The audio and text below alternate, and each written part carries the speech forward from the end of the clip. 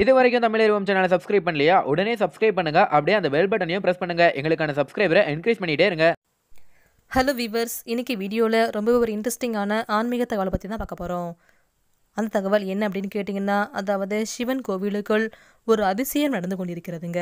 அந்த அதிசயமான தகவலை தான் இந்த வீடியோவில் பார்க்க போகிறோம் பொதுவாகவே அறிவியலை கடந்து பார்த்திங்கன்னா ஆன்மீக ரீதியாக இன்றும் பல விஷயங்கள் நடந்து கொண்டு தான் இருக்கிறது. அந்த வகையில் பார்த்தீங்கன்னா ஒரு சிவன் கோவிலுக்குள் ஒரு குளத்தில் நீர் கொதித்து கொண்டிருக்கிறது. இந்த கொதித்து கொண்டிருக்கும் குளத்தில் சாதம் செய்து அதை சிவபெருமானுக்கு படைக்கும் நிகழ்வு இன்றும் நடந்து கொண்டுதான் இருக்கிறது.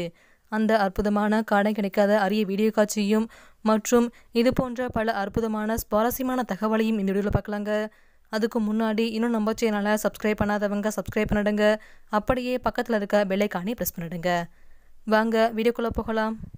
இமாச்சல பிரதேசத்தில் இருக்கக்கூடிய ஒரு சிவன் கோவிலில் பார்த்தீங்கன்னா இது போன்ற ஒரு அற்புதமான நிகழ்வு நடந்து கொண்டிருக்கிறது. அதாவது இந்த கோவிலில் என்ன சிறப்பு அப்படின்னு பார்த்தீங்கன்னா இங்கு ஒரு குளம் குதித்து கொண்டிருக்கிறது. அதாவது இங்கே இருக்கக்கூடிய ஒரு குளத்தில் பார்த்தீங்கன்னா எப்போதுமே தண்ணீர் சூடாக இருக்கும். இந்த சுடு தண்ணியில் பார்த்தீங்கன்னா ஒரு பாத்திரத்தில் அரிசி வைத்து சமைக்கப்படும் வீடியோ காட்சி பார்த்தீங்கன்னா தற்போது சமூக வலைதளம் மிகவும் வைரலாகி கொண்டிருக்கிறது. அதனுடைய வீடியோ காட்சி பார்த்தீங்கன்னா ஒரு மணி நேரத்தில் பல ஆயிரம் மக்களால் பகிரப்பட்டு வருகிறது. அதாவது இங்கு சமைக்கப்படும் அரிசியை பார்த்தீங்கன்னா சிவபெருமானுக்கு சாதமாக வைத்து படைத்த பின்புதான் அனைவருக்கும் கொடுக்கப்படுகிறதுன்னு சொல்லப்படுகிறது. இது போன்ற நிகழ்வு பார்த்தீங்கன்னா இங்கு தினமும் நடந்து கொண்டு தான் இருக்கிறது. இது கேட்கும்போதே நமக்கு ஒரு ஆச்சரியமான விஷயமாக இருக்கிறது. ஆனால் இப்போ சொல்லப்பட்ட தகவல் அப்படின்னு பார்த்தீங்கன்னா இது ஒரு நடந்து கொண்டிருக்கும் உண்மையான விஷயமாக இருக்கிறது. இந்த காண கிடைக்காத அற்புத வீடியோ காட்சியை தற்போது பார்த்துடலாம்.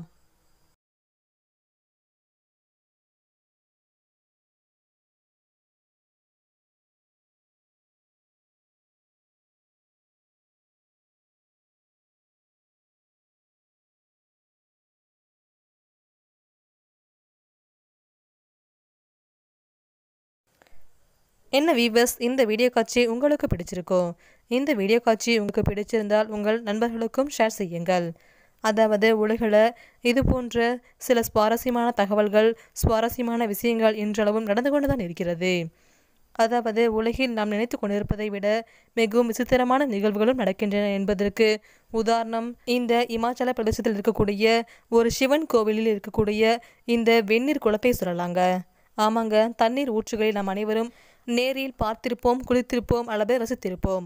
ஆனால் வெந்நீர் ஊற்றுகள் பற்றி அவ்வளவாக கேள்விப்பட்டிருக்க மாட்டோம். அவ்வாறான விசித்திரமானதாகவும் மிகவும் அழகானதாகவும் இருக்கும் உலகின் பதினைந்து வெந்நீர் ஊற்றுகளை பற்றியும் அதன் சிறப்பினை பற்றியும் இந்த தெரிந்து கொள்ளலாங்க. அதாவது துருக்கியில் பார்த்தீங்கன்னா டென்னிசி மாகாணத்தில் இருக்கும் இந்த வெந்நீர் ஊற்று பதினேழு அடுக்கு குளங்கள் கொண்ட கனிமங்கள் இருந்ததாக சொல்லப்படுகிறது. இதில் வெப்பம் பார்த்தீங்கன்னா தொண்ணூற்றி நாலு டிகிரி பாரன்ஹீட் அளவில் இருக்கும் நிலையில் சுண்ணாம்பு படிவம் அதிகமாக இருப்பதால் வெள்ளை நிறத்தில் காணப்படுவதுடன் நீர் ஊற்று பாயும் இடங்களில் கார்பனேட் கனிமம் அதிகம் காணப்படுகின்றது. அதே போன்று பார்த்தீங்கன்னா இது மொத்தம் சுமார் இரண்டாயிரத்தி எழுநூறு மீட்டர் நீளமும் ஆறுநூறு மீட்டர் அகலமும் நூற்றி அறுபது மீட்டர் உயரமும் கொண்டது. இந்த வெப்ப நீர் ஊற்றுகளில் குளிப்பதற்காக பழங்காலத்திலிருந்தே ஏராளமான மக்கள் வந்து செல்கிறார்கள். ஆயிரத்தி தொள்ளாயிரத்தி எண்பத்தி எட்டாம் ஆண்டில் யுனெஸ்கோவின் உலக பாரம்பரிய தலமாக இது இணைக்கப்பட்டது. அதே போன்று பார்த்தீங்கன்னா இமாச்சல பிரதேசத்தில் பார்வதி பள்ளத்தாக்கில் உள்ள கீர் கங்கா காடுகளுக்குள் காணப்படக்கூடிய ஒரு அற்புதமான இயற்கையான கந்தக வெந்நீர் ஊற்று. அதாவது இது குழு மாவட்டத்தில் ஒன்பதாயிரத்தி எழுநூறு அடி உயரத்தில் உள்ளது. இந்த வெந்நீர் ஊற்றில் இரண்டு குளங்கள் கட்டப்பட்டுள்ளன. ஒன்று ஆண்களுக்கும் இன்னொன்று பெண்களுக்கும் தனித்தனியாக உள்ளது. கீர்கங்கா மலைகளின் சரிவுகளில் உள்ள ஒரு சிறிய கிராமம். இந்த பகுதியில் பிரபலமான மலையேற்றங்கள் அதிக அளவில் உள்ளதால் சுற்றுலா பயணிகள் அதிகமாகவே வந்து செல்கின்றனர். அதே போன்று பார்த்தீங்கன்னா ஐஸ்லாந்தில் உள்ள ரெய்காவிக் தலைநகரிலிருந்து சுமார் ஐம்பது நிமிட பயணத்தில் இந்த அழகான ப்ளூ லகுன்களை அடைந்துவிடலாம். இங்குள்ள கருப்பு நில எரிமலை பாறையில் சிலிக்காவின் தன்மையால் பால் நீல வர்ணத்தில் தண்ணீர் உள்ளது. இந்த வெந்நீர் ஊற்றில் உள்ள தண்ணீர் தொண்ணூற்றி ஒன்பதிலிருந்து நூற்றி ரெண்டு டிகிரி பாரன்ஹீட் வெப்பத்தில் உள்ளது. இந்த நீரில் உப்புக்கள் மற்றும் பாசிகள் நிறைந்து காணப்படுகிறது. இங்கு குளிப்பதற்காக குளியல் வசதிகள் கொண்ட குளம் ஆயிரத்தி தொள்ளாயிரத்தி எண்பத்தி ஏழில் தொடங்கப்பட்டது மேலும் மர்மங்கள் இருந்த சில இடங்களை பற்றியும் பார்க்கலாங்க. அதாவது சீனர்கள் பெரும்பாலும் புத்த மதத்தை பின்பற்றுவார்கள். ஆனால் இங்கு காளியை வெகு விமர்சையாக கொண்டாடுகின்றனர். பக்தர்களுக்கு பிரசாதமாக நூடுல்ஸ் ஃப்ரைட் ரைஸ் வழங்குகின்றனர். இதனைத் தொடர்ந்து கர்நாடக மாநிலம் நஞ்சன்கோடு அருள்மிகு நஞ்சுண்டேஸ்வரர் கோவிலின் பற்றிய பல சுவாரஸ்யமான தகவலையும் பார்க்கலாங்க. அதாவது இந்த கோவிலில் பக்தர்களுக்கு அருள் பாவிக்கும் நஞ்சுண்டேஸ்வரர் சுயம்பலிங்கமாக தோன்றியவர். இங்கு மூலவராக இருக்கும் சிவலிங்கத்தின் மீது பரசுராமரால் வெட்டப்பட்ட கோடு இருக்கின்றது. அனைத்து சிவன் கோவில்களிலும் சிவனுக்கு ஐப்பசி மாத பௌர்ணமி தினத்தன்று அன்ன அபிஷேகம் நடைபெறும். ஆனால் இந்த கோவிலில் இருக்கும் லிங்கத்திற்கு தினம்தோறும் அன்ன அபிஷேகம் செய்யப்படுகிறது. விஷத்தன்மை கொண்ட அசுரன் ஒருவனை விழுங்கிய காரணத்தால் சிவன் இங்கு உக்கிரமான நிலையில் இருப்பதாகவும் அந்த உக்கிரகத்தை தணிக்க தினம்தோறும் அன்ன அபிஷேகம் செய்யப்படுவதாகவும் கூறப்படுகிறது. இது மட்டுமல்லாமல் இத்திருத்தலத்தில் சுக்கு வெண்ணெய் சர்க்கரை இவை மூன்றையும் ஒன்றாக கலந்து சுகண்டி சர்க்கரை என்ற பெயரில் பிரசாதமாக அந்த சிவனுக்கு நெய்வேத்தியம் செய்து பக்தர்களுக்கு வழங்கப்படுகிறது. மகரிஷி முனிவர் உச்சிகால பூஜையை செய்ய வருவதாக ஐதீகம் ஒன்று உண்டுங்க அதே போன்று நோய்களை குணப்படுத்தும் சக்தியானது இந்த சுகண்டித சர்க்கரைக்கு உள்ளதால் இந்த சிவபெருமானை ராஜ வைத்தியர் என்ற மற்றொரு பெயர் கொண்டும் அழைக்கிறார்கள். இந்த கோவிலில் இருக்கும் வீரபத்திரர் சுவாமி மிகவும் புகழ்பெற்ற மூர்த்தியாக திகழ்கின்றார். இவரின் கைகளில் வில் அம்பு கத்தி மற்றும் தண்டு இவைகளை ஏந்தி பக்தர்களுக்கு காட்சி அளிக்கின்றார்.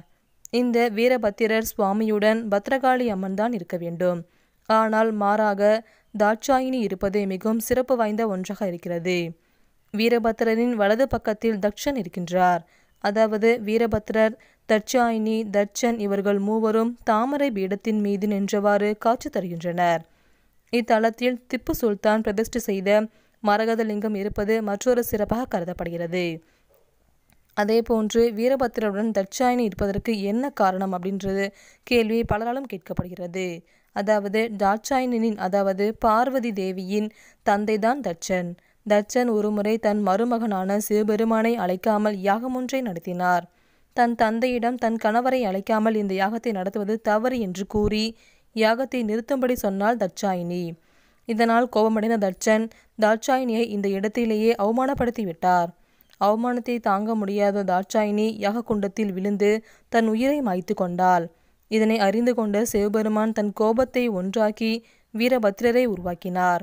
அந்த வீரபத்திரர் கோபத்தோடு யாகம் நடந்த இடத்திற்கு சென்று தட்சனின் தலையை துண்டித்து யாக குண்டத்திலிருந்து தட்சாயினியை தூக்கி கொண்டு கோர தாண்டவம் ஆடினார். இந்நிலையில் செய்வது என்னவென்று அறியாமல் இருந்த தட்சனின் மனைவி பிரசுதா தேவி சிவனிடம் தஞ்சமடைந்தாள் தன் கணவரையும் மகளையும் உயிர்ப்பித்து தர வேண்டி கேட்டுக்கொண்டாள் அவளது வேண்டுதலை ஏற்ற சிவபெருமான் தட்சனையும் தாட்சாயினையும் மீண்டும் உயிர் பெற செய்தார். தாய் தந்தையர் இருவரும் சேர்ந்து தாட்சாயனுடன் காட்சி தந்தனர். இந்த சம்பவத்திற்கு பிறகு வீரபத்திரர் தாட்சாயனுடன் இத்தலத்தில் அருள்பாலிக்கிறார் என்பது வரலாறு கூறுகிறதுங்க. அதே போன்று இக்கோவிலின் தல வரலாறு அப்படின்னு பார்த்தீங்கன்னா கொடுமையான விஷத்தன்மை கொண்ட கேசியன் என்னும் அசுரன் தேவர்களை தொடர்ந்து துன்புறுத்தி வந்தான். அந்த அசுரனிடம் இருந்து தம்மை காத்து கொள்வதற்காக தேவர்கள் சிவனிடம் தஞ்சமடைந்தனர். சிவனும் தேவர்களும் சேர்ந்து ஒரு சிறிய நாடகத்தை நடத்தினர். தேவர்கள் கபிலா கவுண்டினி மணிகர்ணிகை என்ற பெயர் கொண்ட மூன்று நதிகள் சங்கமிக்கும் இடத்தில் ஒரு யாகம் நடத்தப் போவதாகவும் அந்த யாகத்திற்கு அசுரனை அழைத்து யாக குண்டத்தில் வீழ்த்தி வதம் செய்ய ஒரு நாடகத்தை திட்டம் தீட்டினர். அதுபடியே யாகமும் நடந்தது. அசுரனும் அந்த யாகத்திற்கு வருகை தந்தான். அந்த அசுரனை தேவர்கள் வரவேற்பது போல நாடகம் ஒன்றினை அரங்கேற்றி தக்க சமயத்தில் யககுண்டத்தில் உள்ள நெருப்பில் அசுரனை தள்ளிவிட்டனர். அப்போது சிவன் அக்னி வடிவில் மாறி விஷத்தன்மை கொண்ட அசுரனை விழுங்கிவிட்டார். இதனால் தேவர்கள் அந்த இடத்திலேயே சிவபெருமானை மக்களுக்கு அருள் புரிய வேண்டுமென்று வேண்டி கேட்டுக்கொண்டனர். இதன் மூலம் சிவபெருமான் அந்த இடத்திலேயே சிவம்பு மூர்த்தியாக எழுந்தருளி மக்களுக்கு காட்சி தந்தார். விஷத்தன்மை கொண்ட அசுரனை விழுங்கியதால் இந்த ஈஸ்வரனுக்கு நஞ்சூடீஸ்வரர் என்ற பெயரும் வந்ததுங்க. சிறிது நாட்களுக்கு பின்பு இயற்கை சீற்றத்தினால் இந்த லிங்கமானது மறைந்து விட்டது தான் செய்த பாவத்திற்கு பிரியாச்சித்தம் வேண்டி பரசுராமர் இந்த லிங்கத்தை தரிசனம் செய்வதற்காக வந்தார். ஆனால் லிங்கம் அந்த இடத்தில் இல்லை. செய்வதறியாது தவித்த பரசுராமர் அந்த இடத்தில் இருந்த செடி கொடிகளை எல்லாம் அகற்றி சுத்தம் செய்ய தொடங்கினார். அந்த சமயம் ஒரு இடத்தில் செடியை வெட்டிய போது அந்த இடத்திலிருந்து ரத்தம் வந்தது. பயந்து போன பரசுராமர் செடிகளை விலக்கி பார்த்தார். அந்த இடத்தில் ஒரு லிங்கம் இருந்ததை அறிந்து கொண்டார். செய்த தவறுக்கு மன்னிப்பை சிவபெருமானிடம் கேட்டுக்கொண்டார். அந்த சமயம் சிவபெருமான் பரசுராமனுக்கு காட்சி தந்து பாவ விமோசனம் அளித்தார். அதன் பின்பு பரசுராமனால் இந்த லிங்கம் திரும்பவும் பிரதிஷ்டை செய்யப்பட்டதுங்க. பரசுராமரின் கையால் வெட்டிய காயமானது இன்று வரை சிவலிங்கத்தில் தெரிகிறது என்று சொல்லப்படுகிறது.